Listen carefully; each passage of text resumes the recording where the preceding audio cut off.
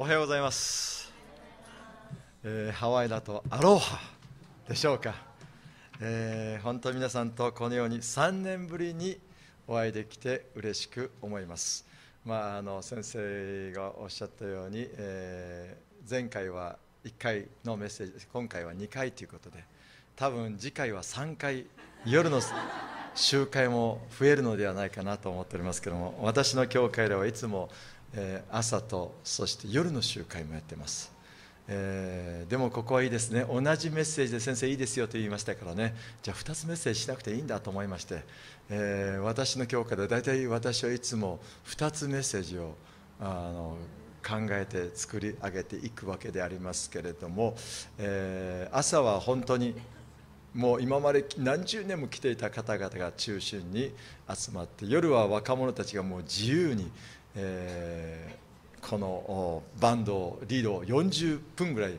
賛美してそこから私が15分メッセージというワンポイントメッセージ。バイリンガルなんですね、えー、そしてそこで通訳者が入るんですけどもその通訳者もですね今年で84歳。ここはいいですね。中川先生がもう早速、ね、通訳なさってますからね。まだまだ50年は安泰ですね。でも本当にこのように皆さんとお会いできることを嬉しく思います。一言お祈りします。愛する天皇父様あなたにある主の教会にまたこの者がこのようにしてあなたのためにご用ができることをあれ感謝します。本当に足りないものですけれども主をどうぞこのものを通してあなたの御言葉が愛する方々に語られますように。聖霊様が語る者のうちにも聞く者のうちにも等しく働いてくださいますように。そしてただ主の栄光が拝されますように。どうぞこのところで主の御業がこの教会を通して主の御業がなされますように導いてくださいますようにお願いします。すべてを主の御手においだんしイエス・キリストの皆によってお祈りいたします。アメン。感謝します、えー、先生から30分のメッセージでというふうに言われておりますけれどもこれ何時で終わればいいんでしょうか先生。9時半。OK これから30分ですね。よかった。はい。えーとですね皆さんで一緒に聖書をまずお読みしたいと思いますけれども今日はフィリップの4章の読説とても有名な箇所であります。一緒にあの日本語でもいいし英語でもいいしどっちでも構いません、えー、一緒にお読みしましょうか。3はい。どんなことでも思い煩うのはやめなさい。何事につけ感謝を込めて祈りと願いを捧げ求めているものを神に打ち明けなさい。続きましょう。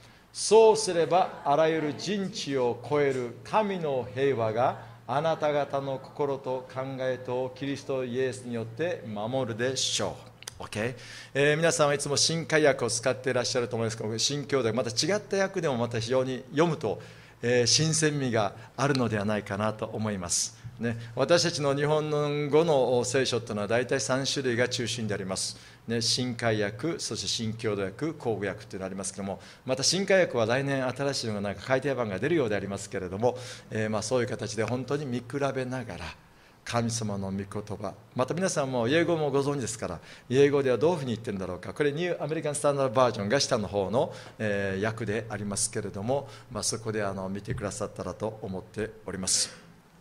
えー、私たちの教会にはですね非常に健康に対して敏感な人がいらっしゃるのであります、ね、皆さんのところでもそうかもしれませんけれども、えー、何が体に良い悪い何がいけないとかですねもうそのことをおっしゃる方々がたくさんいます、ね、日本でも非常に健康オタクっていますよね。ね。ですからね健康のためなら死んでもいいっていうぐらいですね。おかしいですよそれね。もう健康のためだったら死んでもいいなんて言いながら何のための健康なのかわからない。ような、えー、そういうことがあったりするわけでありますけれども私たちにとって大切なことは何かと言いますとまず食べることでしょ？食べることって非常に私に健康に影響いたしますでしょ？ね。まずだから私今日はちょっとですね、えー、健康に関して話しましょう。大切なのは何かというといきましょう。はいまず食事ですよね。何を食べるか何を飲むか心配するなとイエスもおっしゃいましたけれどもでも私は本当にいろんな形で食べ物によって健康が害されたりまた維持されたりします、ね、皆さん、えー、こういうハンバーガー見たことあります？こういうですね。いきましょうか。はい Thank you あここに出るんですねこれね。グーはい。これすごいでしょう。これこれ食べたらもうハートアタック間違いなしでしょうね。いくつです？でもこのハンバーガーの名前なんてか知ってます？ハートアタックバーガーというんですって。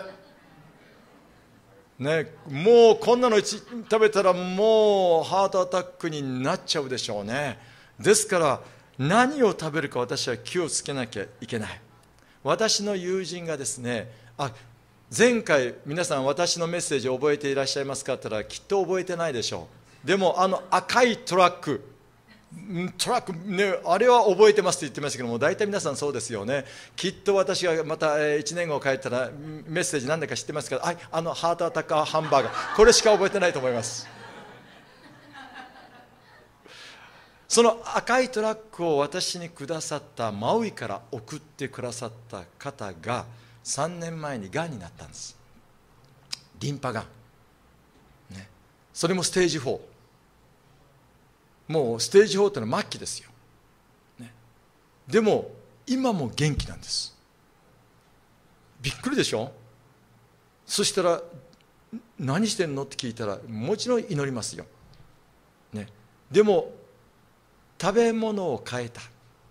何を変えたかと言いますと野菜スープ。皆さんご存知ですか？もしインターネットを使って調べるんでしたらハーバード式野菜スープ。これです。これ。かぼちゃ人参。キャロットって人参はしょうか。かぼちゃ人参玉ねぎ。キャベツ。4種類。ね。後で聞きたい方は詳しく教えますけどもこれをボイルしてそして、えー、沸騰した後20分間煮詰めてそしてそれを毎食前にあの食前に食前に必ずそれをやったやつを飲む。そしたらねイミュンシステム抵抗力を私の内側で高められていくそうです。がんの数値が全然変わらない。白血球が正常にいつも維持してる。お医者さんがびっくりしちゃった。ステージ4のがんになりながらスタンダードパドルサーフィングの大会に出ていつも優勝してます。すごいでしょ、ね、彼女はもう60超えてるんですけども、ね、いつも先生また優勝しました。ああそう何人出たの？2人。なんてねがらね。でもすごいですよ。今も本当に元気です、ね、そして今年私言ったら全然どうその先生感謝のことにね本当にねお医者さんもびっくりしてます。でもまだがんはあるそうです。でも元気です、ね、これと同時に今度は何を食べてる？去年からこれを食べてるそうです。いきましょうか。今日はなんか食べ物のあれみたいですね。これ何だか知ってます？ガーリック。黒ニンニク。それを作ってるそうです。みんな知りたいですか？この黒ニンニクはもっとまた私たちのイミュンシステムを高めて非常に健康維持に役立つそうです。これ市販されてるのを買うと高いそうです、ね、でもそれはねどのように作るかと言いますとじゃあ後で私の方に来てください。炊飯器。で保温状態に2週間置いておく。自然とこうなります。プラムみたいに、ね、臭みが取れます、ね、そして一かけら毎一日二かけら朝と晩食べるそうです。ものすごく体に健康にです。やってみてください。嘘だと思うでしょう。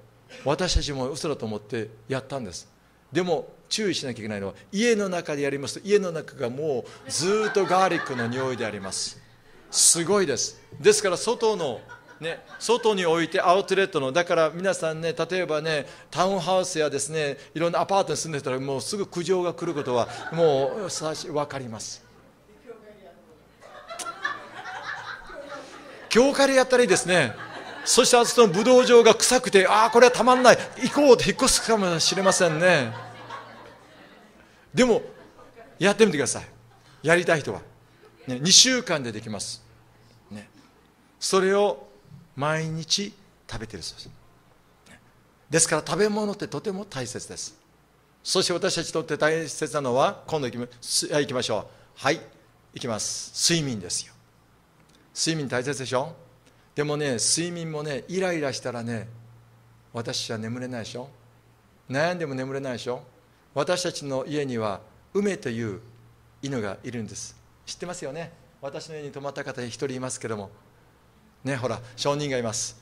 ねあのビジョンフリーゼという小さな犬がいるんですけどもあの犬は私のいつもうちのうちの娘と寝てるんですけども夜中トイレに行きたい時にはなぜか知らないけど私を起こすんですよ。私のマスターベッドルームのドアを必ずノックするんですよ。ですからノックは3回までよ。っていうふうに決まり事を作ってるんですけどもうちの家内はですね全然気づかないんですよ。私は愛する者の声が聞こえるってすぐ敏感に起きるんですよ。ああまた愛する者の声が聞こえる。分かったよ1時半。見たら。それ寝るでしょ？またトイレ。ね。4時半。そこでも怒ったらどうですか？もうずっと眠れないチキショー本当に耳って言いながらやったらですね眠れないですよ、ね、愛する者の声が聞こえる。もう心は穏やかですよ、ね、イライラはダメですよ。私は睡眠ってとても大切。ですそして今度ははい行きましょう。エクササイズですよ。どうでしょう、ね、運動、ね、とても大切。です私は大体ねこのズボンのサイズはここ40年ぐらい変わってません。なぜか知ってます？不経済だから。だって着れなくなったらもう買わなきゃいけないでしょ？ね、ですからもうとにかくねこの着れるようにしなきゃいけないということで、ね、ちゃんとだから努力はするんですよ、ね、でもエクササイズはとても大切です、ね、大切。今度はパッといきましょうか。はい。ベンツ。そうですよね。それがこれ大切。教会でこれ言うべきかどうか私迷ったんですけどもでもそれがねなっちゃうとね毒素がたまるんですよ。でも私はエクササイズすることによっていろんなものが活発になります。これがほとんど世の中の健康に関する話であります。でも私たちクリスチャンにとって一番何が大切かと言いますとね信仰ですよ。いきましょう、ね、信仰が全て影響します、ね、私たちは本当に神様の前にこの全て全人格的に祝福されないと体ってのは内側から本当に病んできます。内側は私たちが神様との交わりを持つところであることを覚えてくださればと思いますね。私たち人間っていうのはね三重構造になっています。体があるでしょ？この肉体というのは必ずね年を取ったらねどんなに美貌を誇ってもご安心ください。いつかは枯れてしまいます。そうでしょ？私も何十年間前はふさふさだったんですよ、ね、でも私たちはやっぱし肉体は衰えてきます。ですから私たちのまず外側は全人格的なものは何かと言いますといきましょうか、ね、 body 肉体ですよ、ね、私は三重構造聖書はそのように書いています。そして次は何かと言いますと魂。あります。いきましょう。 soul、ね、プシュケというふうに言います。プシュケ、ね、サルクスプシュケ、ね、ギリシャ語では。そして一番真ん中は何かと言いますとこれです。スプリット。霊です。私は霊的な存在です。私が日本にいた時にね、先生、もううちのお父さんが意識を失って昏睡状態です、クリスチャンでありません、でも先生、来て祈ってくれますか？というふうに言うんですよ、私、喜んでいくんですよ。先生何も分かりませんからもう何も意識ありませんからと言いますけれども私はそう信じてないんです。この霊は生きている限りいるのであります。ですから私は手を置くって祈るんです。神様の宮座が愛する兄弟の内側にありますようにどうぞ愛する兄弟のその霊が死によって祝福されそしてあなたの身元に行くことができるように。そしたらその中からね何人か涙を流し始めて家族がびっくりしてその家族がみんなクリスチャンになった人たちもいます。そして病床洗礼を授けた人もいます。私は霊的な存在であることを覚えてください。この霊が止むと全体が病みます、ね、ですから本当にこの霊が私たちによって本当には神様によって祝福されていかないと私はいろんな形でメンタル的にも弱くなってしまいます、ね、ほとんどの病気の原因は何かと言いますとストレスですよ、私の教会にこの夏からお医者さんが日本のお医者さんが研究のために来ました。最初 LA の方に来たんですけども LA で招かれてその研究所に入ったんですけどもその研究所のもう上司がすごい最悪な人で彼を辞めさせようということでもう2週間日本から来たばっかりでもうすぐ日本に帰らなきゃいけない状況の中になっちゃった。コンテナでまだ日本から荷物が届いてない届いてないにもかかわらず日本にもう2日後には帰れなきゃいけなくなるような状況になったんですよ。そしたらねどうなったかと言いますとねもういつも辛くてお医者さん今まで人のね、えー、相談を聞きながらあなたこうしたらいいよこうしたらいいよいいよというとかですねそういうふうに、えー、指導してた方が眠れなくなる。動悸が始まる。そして食べることができない。否定的な考えになって死んだ方がましじゃないかと思うようになった。そういう中にあった時に本当にクリスチャンになった奥さんが熱心なクリスチャンで奥さんまでも病んでいてでもその時に神様に2人で本当に悔い改めてまず神の前に出ようということでそこから神様によって取り扱われたんですよ、ね、そして全て神様に委ねていこうとした時に道が開けてきて今私の北下の方にの道が開けてそこで研究していますけども私がね私たちにとって大切なのはね霊の健康ですよって言ったらねお医者さんである彼がね「アーメン」って言いました。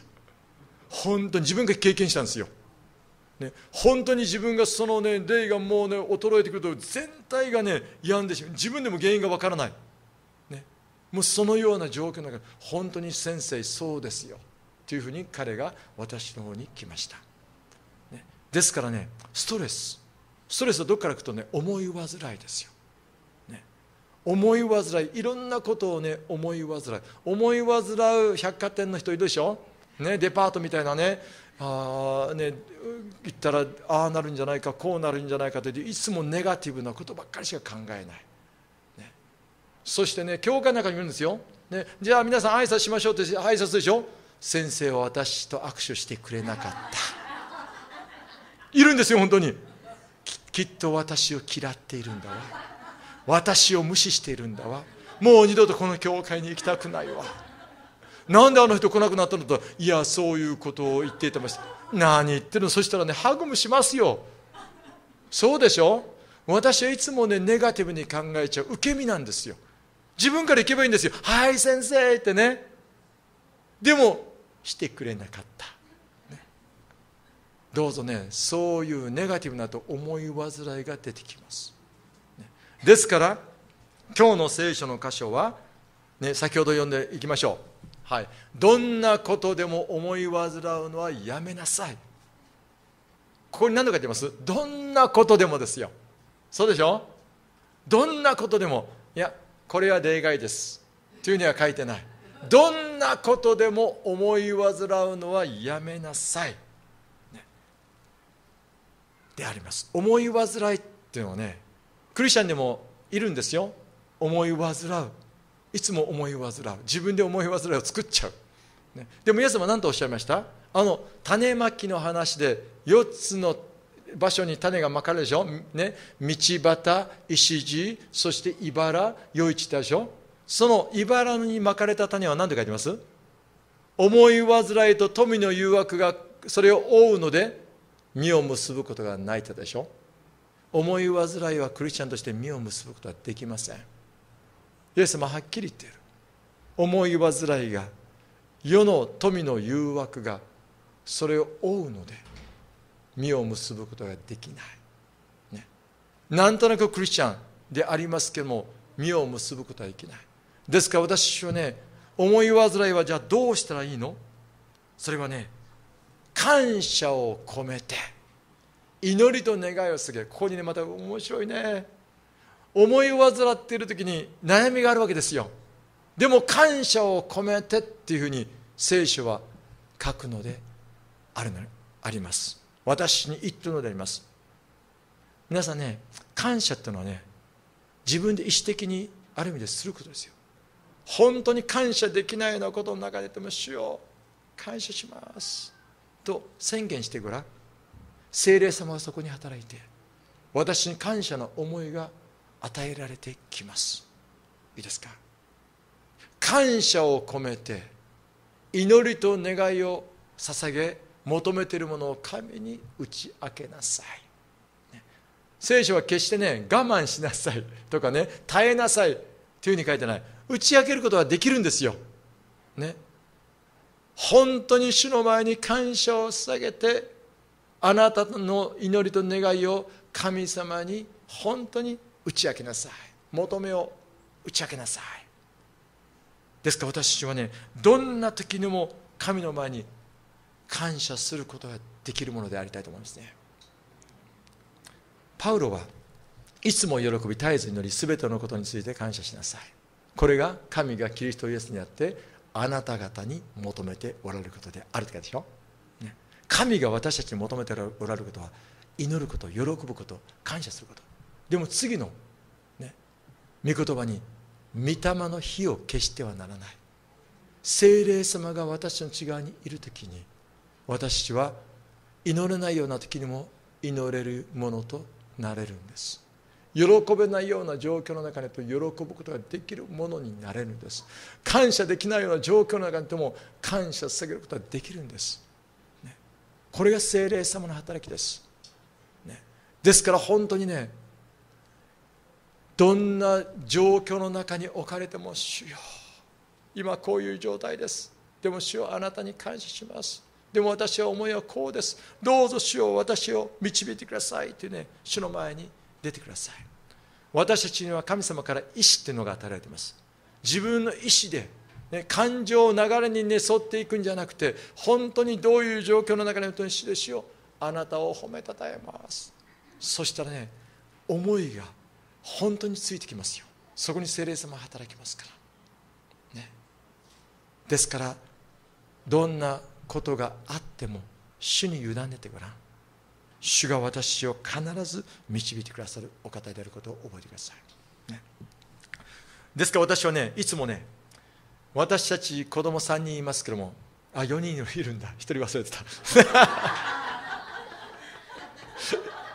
3人はアメリカにいて1人は日本に帰ったんですけどもね。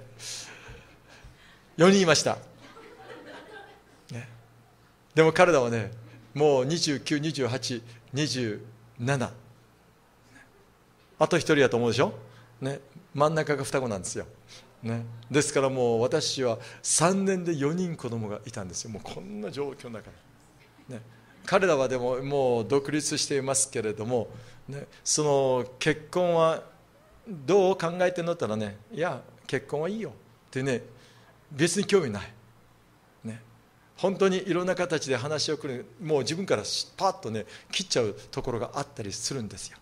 でも私はね主に委ねてるんですよ。どういうふうに祈ってるかと言いますとねいつもこういうふうに祈っています。主にあって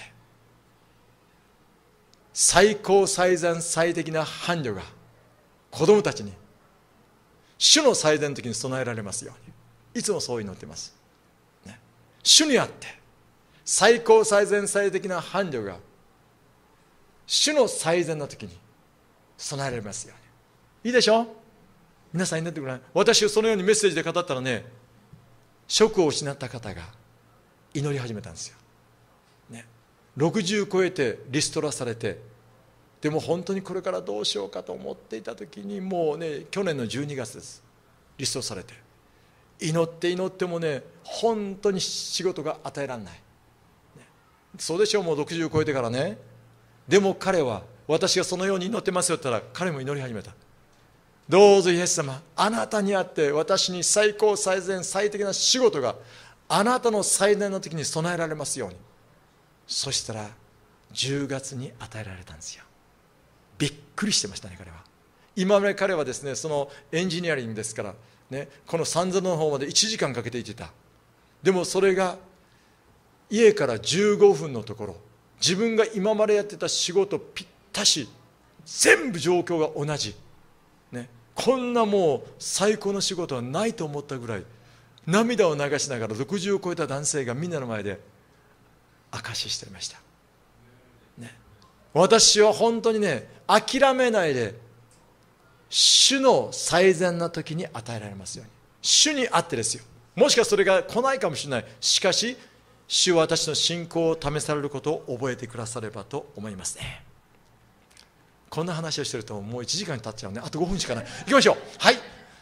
早いね30分でのは。そうすればあらゆる人知を超える神の平和があなた方の心と考えとキリストイエスにあって守るでしょう。私はねこの日本語の「そうすれば」っていうのが好きなんですよ、ね、私は信仰を持って歩んでいく時にねそうすればの世界が開けてくるんですよ。これすごいことでしょ。英語でやったら N になってますけども If you are doing so というふうにもし英語で訳すならばそうなんでしょうね。ね。本当にそうすればの世界。これ私の考えを超える世界ですよ。ですから人知を超えるってかでしょ。例えばねここにリンゴを食べたことない人がいます。ね。リンゴを食べたことない人にどういう味をするかということを、ね、その成分を調べて一生懸命成分を調べてあこれがリンゴの味ですよと言っても分かると思います？ノーですよ。でも私はそのように信仰というのを思ってます。いろんな聖書を読んで勉強してねああこれキリスト教がそうなのか。いやそれ分かってないんですよ。知識と経験は違うんです。どうしたら分かります？ガブリッ。おこれはリンゴの味だ。分かるでしょ？これ体験です。信仰というのは体験なんです。人知では超えるんです。説明しても分かるもんじゃない。本当に自分で信じて初めて神様の恵みってわあすごい。分かるんですよ。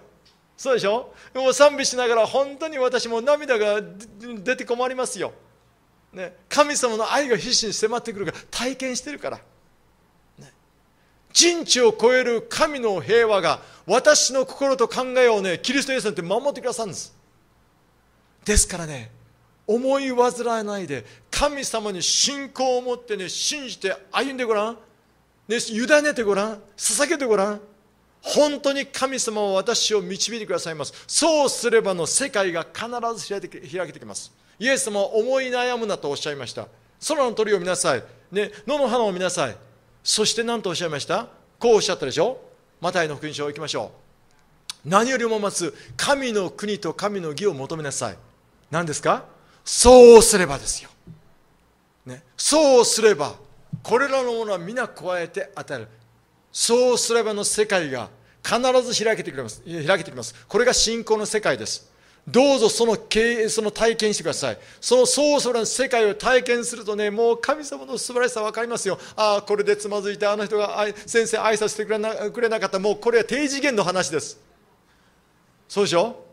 本当にそうすればあの人がこう言ったあの人がああ言った。もうそれはもう低次元の話です、まず神の国と神の義を求めなさい。そうすればそしたらね私はね人を許すこともできるんですよ。クリスチャンの中でも人をあの人だけ許すことできない人がいますけどもこれはね神様の恵みをもうそこで押しとどめてるんですよ、ね、絶対これは損ですよ、ね、死を許します。宣言してください。許す力が主から与えられてきます。いや私はこれはこれだけだと思っている人は本当に恵みがもうそこでとどまってしまうんです。そしてそれが苦いの苦い根となっていい証人にはなれないんです。いいですか？ですから私本当に主に委ねていく。神様こういうもんです。許してください。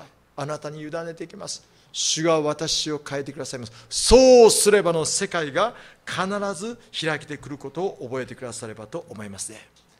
ですからペテロ書の中にこう書いてます。思い煩いは何もかも神にお任せしなさい。神があなた方のことを心にかけていてくださるからです。新科学は、ね、神があなた方のことを心配してくださるって心配って書いてますけども、ね、心にかけてくださるんですよ、ね、思い煩いは全て神様に委ねなさい。明け渡しなさい。私は自分で握ってしまいますと絶対私はそれをねコントロールできません。そのものにコントロールされてしまいます。神様に明け渡しなさい。キャスティングオールですよ。本当に主に明け渡していく時に神様は私たちの内側に働いてくださる。